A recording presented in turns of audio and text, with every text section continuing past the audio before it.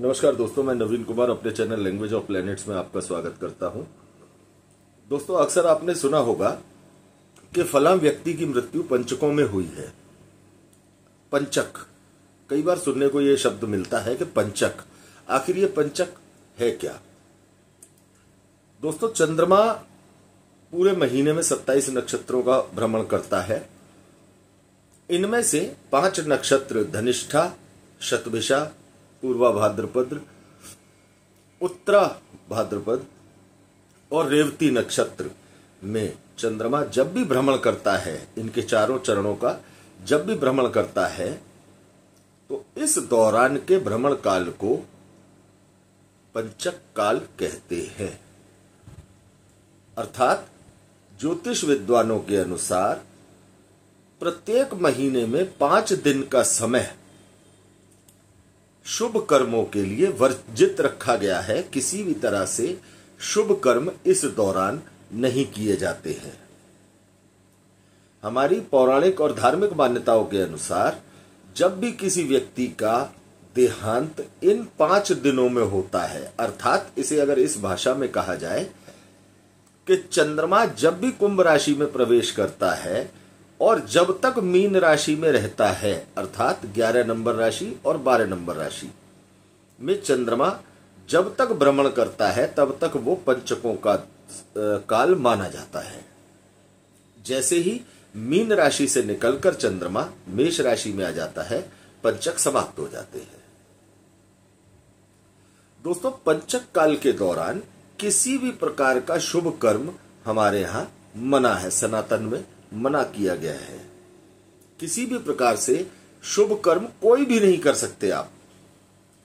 और धार्मिक मान्यताओं के अनुसार, पौराणिक मान्यताओं के अनुसार, पंचक के दौरान यदि किसी भी व्यक्ति की मृत्यु हो जाती है तो ये हमारे शास्त्र कहते हैं कि यदि उस व्यक्ति की दौरान मृत्यु पंचक के समय हुई है तो या मृत्यु के समय पंचक काल चल रहा है तो ऐसे जातक की मृत्यु के बाद भी परिवार के अन्य सदस्यों के सर पर संकट मंडराता रहता है। और पंचक अर्थात पाँच नक्षत्रों का भ्रमण काल चंद्रमा का पाँच नक्षत्रों में भ्रमण काल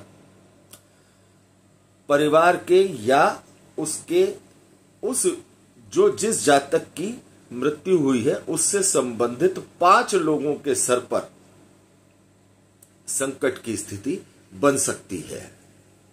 तो ऐसी स्थिति में उस जिसका देहांत हुआ है, उसके साथ पंचक काल में जिस व्यक्ति की मृत्यु हुई है, उसके साथ प्रतीकात्मक पाँच पुतले और दहन किए जाते हैं। अर्थात, अंतिम संस्कार के समय जिस व्यक्ति की मृत्यु हुई है, उसके साथ पाँच पुतलों का दहन विधिवत किया जाता है, संस्कार विधिवत किया जाता है। जिससे कि अन्य किसी परिवार के सदस्य पर या किसी संबंधित व्यक्ति पर इस प्रकार का संकट न खड़ा हो। तो दोस्तों बहुत ही आसान भाषा में जब भी चंद्रमा कुंभ राशि में प्रवेश करते हैं और मीन राशि में जब तक रहते हैं, अर्थात 11 नंबर में प्रवेश करते हैं और जब तक वो 12 नंबर में रहते हैं तो 11 नंबर और 12 नंबर का जो समय होता है, सवा दो और सवा दो, साढ़े चार दिन, अर्थात लगभग पाँच दिन का समय, पंचक काल का समय माना गया है। इस दौरान किसी भी प्रकार के शुभ कर्म वर्जित होते हैं। तो दोस्तों, यदि ये जानकारी आपको अच्छी लगी हो तो आप ज़्यादा से ज़्यादा लोगों के साथ शेयर करना ना भूलें। चैनल को सब्सक्राइब करें और बेल आइकन अवश्य दबाएँ। अगले वीडियो में आपके सामने उपस्थित होंगे एक नई जानकारी, एक नए विषय के साथ। धन्यवाद दोस्तों।